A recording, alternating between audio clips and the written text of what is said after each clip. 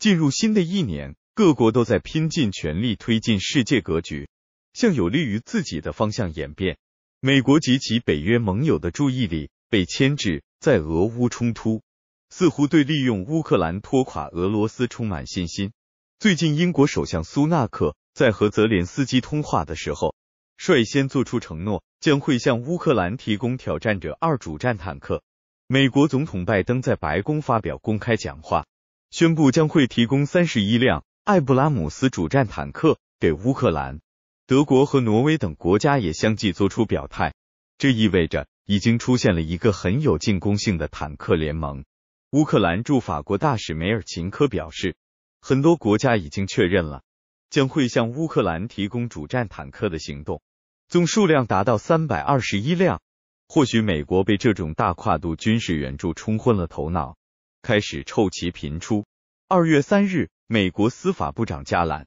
与乌克兰总检察长科斯廷在华盛顿会面时说：“今天我宣布，我已批准有史以来首次将被没收的俄罗斯资产转移到乌克兰。”这些被没收资产是二零二二年四月对俄罗斯寡头马洛费耶夫发起的诉讼，他被控逃避制裁。在一直鼓吹私有财产不可侵犯的美国，原来可以随意没收别国公民私人财产，交给别的国家。二零二二年，美国总统拜登签署命令，没收阿富汗七十亿美元的资金。美国采取的一系列突破下限的行动显示，美国真的穷疯了。有理没理，能抢必抢，这意味着各国持有的美国国债都已经非常不安全，随时面临美国政府的抢劫。美国这种见利忘义的短视行为并非没有代价，代价就是美元信用被动摇，越来越多的国家抛弃美元，选择双边货币进行交易，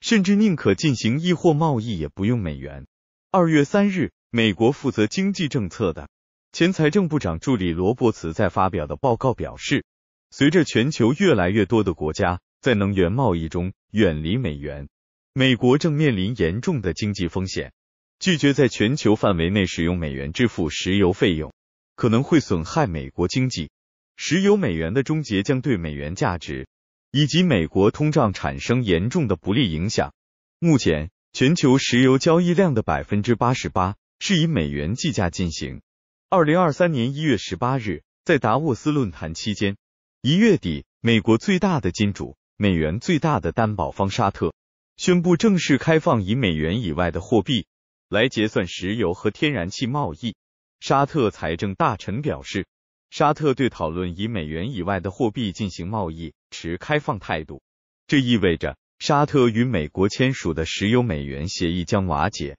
这才是震动全球金融市场的大事。也是颠覆世界经济现状格局的重大事件。如果发生这种情况，全球市场对美元的需求将会下降，美元将急剧贬值，更加不值钱。沙特之所以做出这种选择，是因为伊朗、欧洲国家、印度、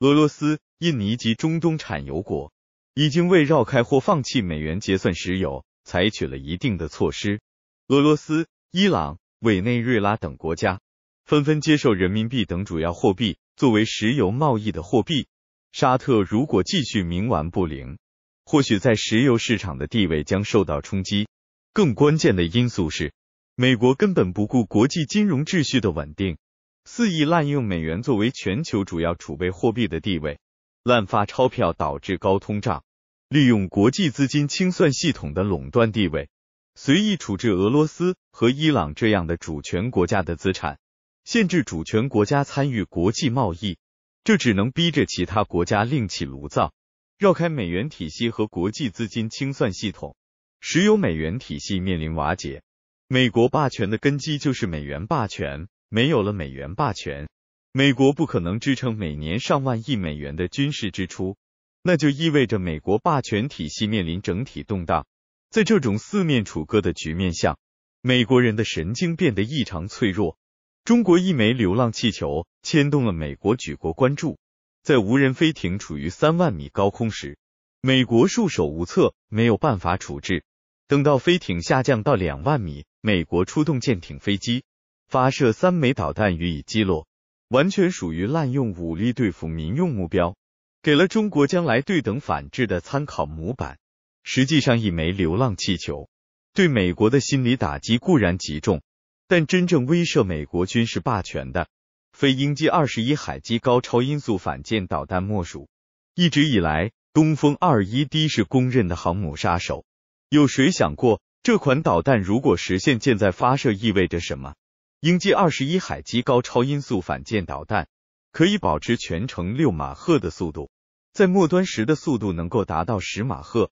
这意味着末端打击速度高达三千四百米每秒，任何拦截系统都无法防御。全球最强巡洋舰零五五搭载射程高达一千五百公里的鹰击二十一海基高超音速反舰导弹，可以在美国航母舰载机最大航程外进行发射。美国航母的攻击无效的同时，又面临生存危机，所以美国全国吵嚷着击落无人飞艇。与其说是精神亢奋，不如说是掩饰内心的恐慌。石油美元瓦解，鹰击二十一摧毁美国海军优势，歼二十对抗美国 F 二二，隐形对隐形。看来看去，实在不知道美国还有什么底气可言。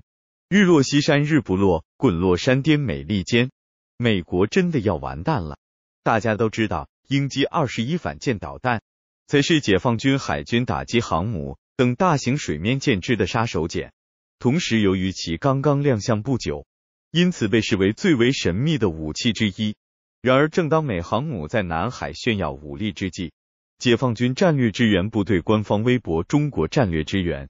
竟然十分罕见的公开这款杀手锏武器。因此，不排除这是在威慑美国，警告美国不要轻举妄动。从公开的信息看，鹰击二十一在末端攻击阶段的速度相当惊人，可以达到十马赫。在最后砸向敌人的时刻，其速度可以达到每秒三千四百米。现阶段，任何反导武器系统在它面前都无能为力。因此，它的正式亮相就已经意味着我国海军开始在近海防御体系中。建立了具有完全摧毁能力的作战系统，让美国的航母编队彻底变成解放军的活靶子。而且还有一点，可能美国更加忌惮，因为鹰击二十一令人胆寒的作战能力是建立在解放军体系化作战能力基础之上的，其背后是中国战略支援部队天基卫星，而包括侦搜、导航、定向等环节，全部由中国自己的卫星提供支持。让美国人无可奈何。可以说，这种体系作战能力比单纯一款武器装备的意义更重大。如今，中国又公开了鹰击二十一的真实数据，这除了证明中国有信心能够战胜美国的航母以外，还可能彰显了另外一个信息：这很可能说明鹰击二十一舰载高超音速导弹或许已经不是中国海军最先进的舰载高超音速导弹了。更先进的舰载高超音速导弹很可能已经研制成功，并有可能在今年向外界透露更多的信息。最近，美国媒体又在炒作中国研制的轰二十，据说它可能携带核弹头，能有效穿透现有的防空作战系统，航程为五千英里，攻击范围可以覆盖关岛、澳大利亚北部。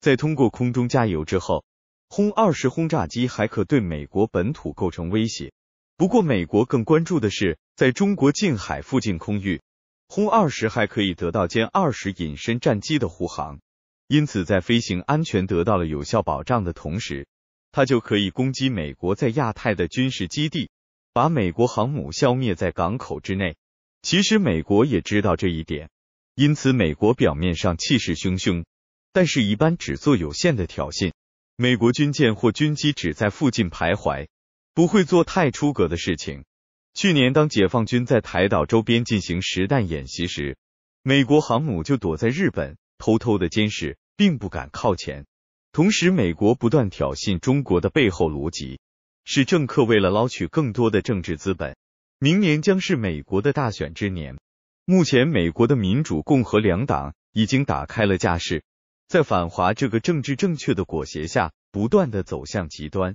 一个中国民用的飞艇就已经把美国人吓破了胆。美国击落中国民用飞艇，更像是恼羞成怒，因为他们十分清楚，如果这是中国的远程轰炸机，他们将再也没有机会挑战中国了。